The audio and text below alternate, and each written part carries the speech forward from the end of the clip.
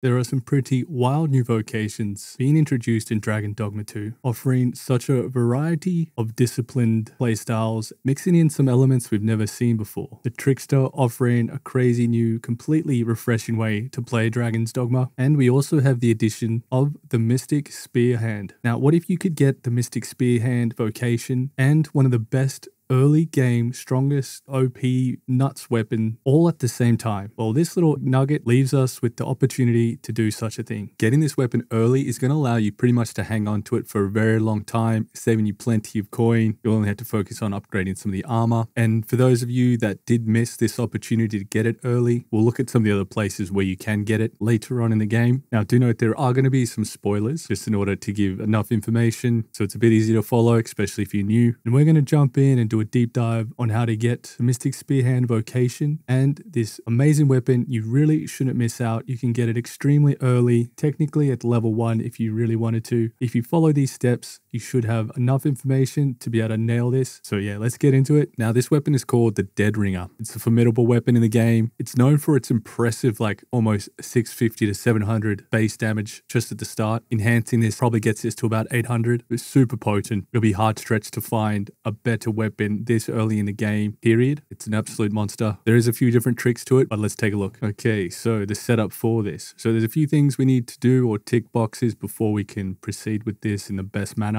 Now, the end objective is going to Melve, but we need to do it a certain way in order to trigger this event. There's a few different ways you can go about it, but primarily it stays roughly the same. Just some of the timing could be different depending on how far you've progressed. Now, there will be perhaps a good portion of you that have missed this opportunity but it's good to know for when you go into next game. We will look at some of the other places you can get it. But for starters, the main quest line will take you from Melve to Vernworth. Now, just to give you a bit more of an idea of that setup, so, so you'll be following the main quest line when you begin. It'll take you, you most likely end up at Melve and you'll get a mission with Gregor. It's the mission called In Dragon's Wake, and you'll be accompanying Gregor to the capital. So this mission, this is the one that will take you to the capital. So you'll just need to follow this along, and you will be guarding this uh, cart, and you can accompany them to the capital. And then you'll get this little cutscene if it's your first time to Vernworth. And the important part of all, all this is that you will be greeted by this dude. This guy is going to give you a bit of a hard time, but we won't go into any more than this just to avoid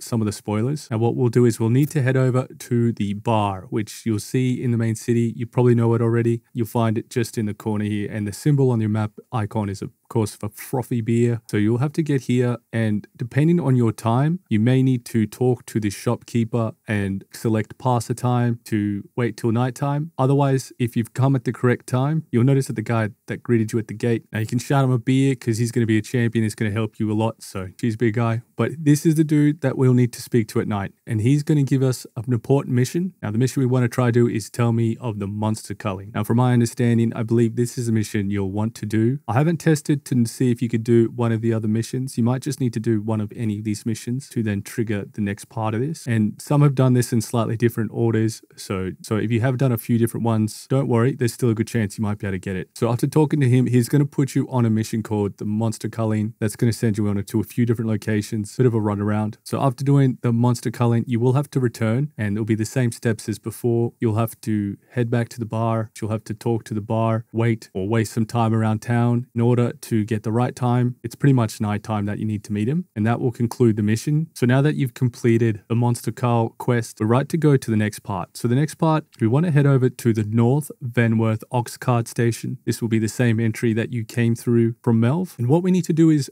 two things. Okay, the first one is super important. You need to head to the inn to save your game. This is an absolute critical step because depending on how you perform, you can miss this. This is a missable item at the start. You can purchase it later, but if you're really keen to get this, you have to do this step. But 100% make sure that you do a save at an inn in the city before you venture out. Absolute must. Because depending on how you do it, and this is not the only way you can do it, but if you say this happens and the dragon flies off, you're boned. You're not going to get the weapon. But yeah, make sure you do save just driving that home because if you miss that kind of messes everything up. So going back to the ox cart, we want to find and talk to this gentleman here. He stands out quite a bit. He's got a reddish tunic on and this gentleman is going to give you the ox cart courier. And you're going to find this guy at the same place where you meet the ox cart. So you can't miss him. He's at the front there. You'll just have to talk to him and he'll set you on this mission.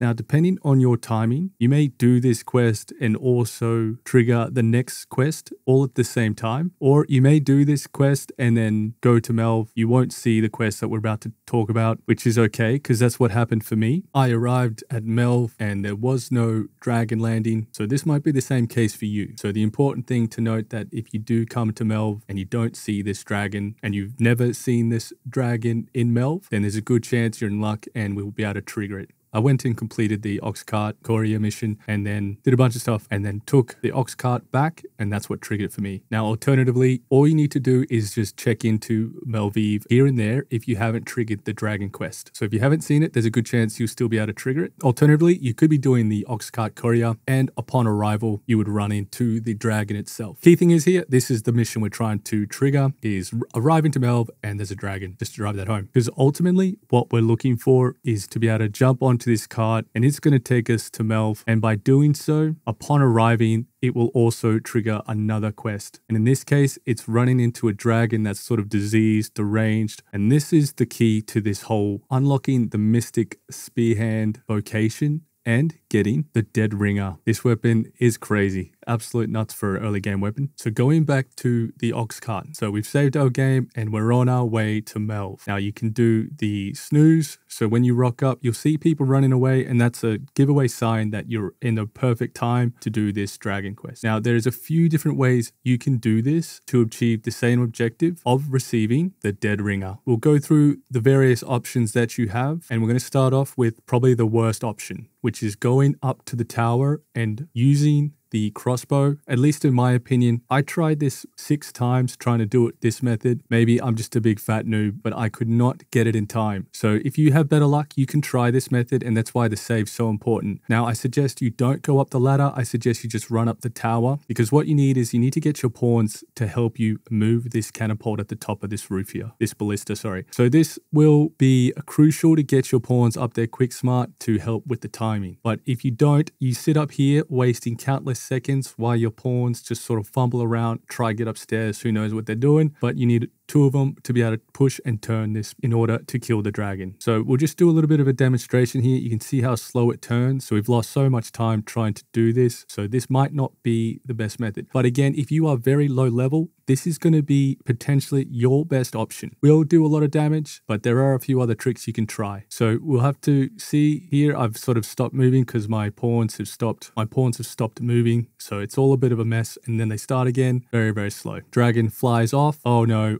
what am I going to do? Well, luckily I've saved, so I will return to the main menu. From the main menu, I go load from last in rest. That's crucial. We're loading from the last in rest. This means we can complete this process as many times as we want until we get the desired results. One interesting thing to note, so with this save, I had a uh, creature spawn in the city. And what was interesting is that each time I loaded up, there was a chance of rolling a different creature within the same save. So just something to note. You can get different creatures and it's kind of a random happening or event that will just spawn inside the town. Anyway, I'm back here again and I'm just going to quickly show you. I'm up here once again trying to get the ballista into its position and it's very slow again. So trying to highlight the method that I tried. So the aim here is you're trying to hit the dragon. Now, I believe you need to hit it two to three times. Now, this shouldn't be dependent on level or skill or anything like that. It should just be dependent pure on how you hit the dragon. And the idea here is to hit it when it's up in the air the two times, but you can also just fire it on the ground. It doesn't have to be in the air. Critical thing is, is trying to get the shots off quick enough in order for it to not fly away. So it's a bit of a time game. So you could be firing right now, and that's what you should be doing. You should try hit it quickly and hard because it takes a long time to charge these up and the dragon will fly away regardless if all the things get burst on it or not. Bit of a time game. So here we go. This in this shot, I actually hit it quite hard, but again, it's just the timing and I don't do enough damage and he ends up flying off in the end, which means I'm going to have to repeat the same process again. So we're going to exit without saving and we're going to go start game. We're going to go into load from last in and repeat that process until you get it.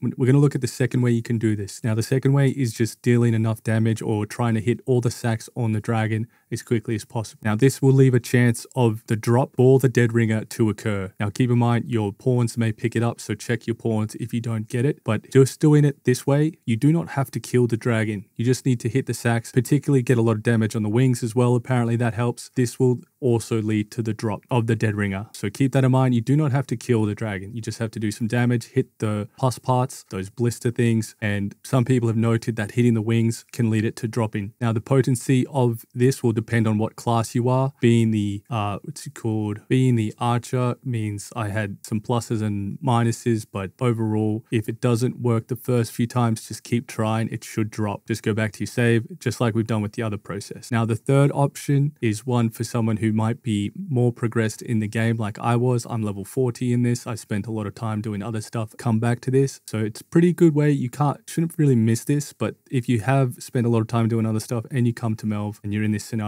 then you can opt in for just destroying or killing Dragon as well, the Drake, I mean. This is another really good option and this will assure that you get the drop regardless. You just have to make sure that you kill it in time. Now in this, I'm using the explosive arrows, which will require you unlocking the exploding shot skill for your archer, as well as purchasing exploding arrows. But you definitely don't have to do that. That's just what I did. It was me just testing the exploding shots out because I hadn't tested them before. Do note, I tried this once before and I didn't succeed because I wasn't focusing on the actual hospits or the blisters on the dragon, Drake, I mean. So keep that in mind. However, on the second attempt, I was able to get it. The good thing about being able to kill this dragon is you actually get a really powerful special attack. But we'll talk about that at the end because that's why this could be one of the best options is killing the Drake, whether you use the first method or just this method of just going for it and killing it. So here you can see me, I'm targeting the wings because I've been reading some people on Reddit mentioning that uh, hitting the wings is probably the way to get the drop. Don't know if that's the truth of it or not, but uh, then in the end, I just ended up trying to hit the big old blisters, and that seemed to work very, very well. Now, I was lucky because I was fortunate enough to have these exploding arrows, which made this whole process a lot easier. The good thing about doing it this method as well, if you're able to, is that since you're attacking from the get-go, you have quite a bit of time. And the key thing here is you're really trying to unlock it unconscious uh, as soon as possible or freeze it or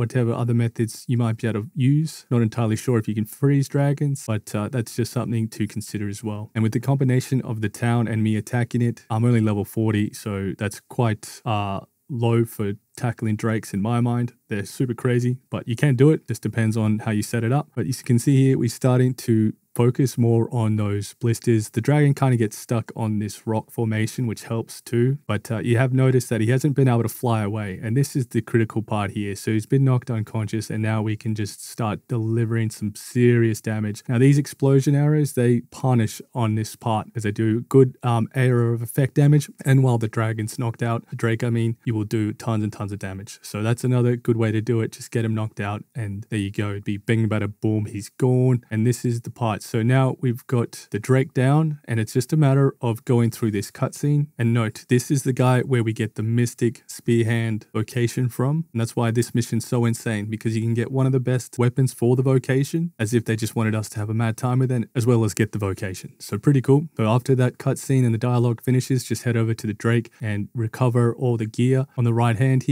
we have the Dead Ringer. So after you collect all the items, we want to head over and talk to Sigurd, which is the guy who's going to give us the vocation for the Mystic Spearhand. So we'd go ask about his technique and then he's going to tell us. And he's also going to reward us with a very special item, which is the Paladin's Enigmata. I haven't used this yet, but apparently it's freaking awesome. This is something you can teach yourself and your pawn, basically adding a new skill that you wouldn't unlock naturally. And you can see also we got the unlocked spear hand. So a very crazy, crazy mission. If you miss this early, it's a bit of a bummer, but you can also still get the mystic spear hand at a later stage. You don't need to do it this way. But the very best scenario is by far trying to do it this way, killing the dragon, getting the spear vocation, and also getting that special technique. Now, if you missed out and you do want to purchase the Dead Ringer, you can purchase it from these shops. So there's a few different options here. You can pause it, have a look. I haven't found all these areas, but uh, there's quite a good few options here. And just to give you an idea of the difference, so you have the Initiate's Blade. So that's the one you'll start off when you first choose to use the Mystic Spear Hand vocation. Pretty high damage, not too bad. But then there's the Dead Ringer, which is